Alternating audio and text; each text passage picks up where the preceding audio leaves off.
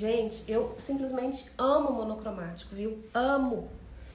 Eu gosto muito de monocromático por várias razões. Primeiro que eu acho chique, simplesmente. Eu acho, assim, visualmente uma coisa muito harmônica e muito chique. Outra porque eu tenho várias vantagens. Uma delas é alongar a silhueta da pessoa que está usando, seja ela é, baixinha, um pouquinho mais gordinha, acima do peso, ou que tem o quadril largo. O monocromático é bom por conta disso. Seja ele em qual cor, qualquer cor, não só os looks monocromáticos escuros, tá? Mesmo os looks mais claros, monocromáticos, eles têm esse poder de alongamento. Simplesmente pelo fato de que é tudo de uma cor só, então não tem quebra de silhueta, né? De tronco e pernas.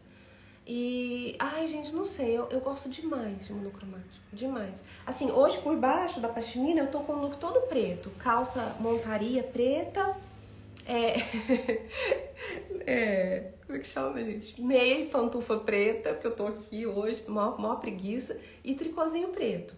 Então, assim, imagina numa base preta dessa, o tanto de coisa por cima que a gente pode jogar de diferente, né?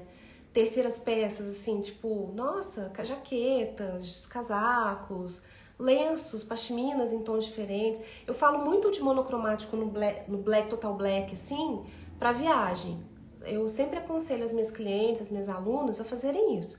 Vai viajar para fora, ou né, um, principalmente looks inverno, leva uma base, sempre bases mais, mais neutras. Calça preta, blusa preta, tricô preto quentinho não pode faltar.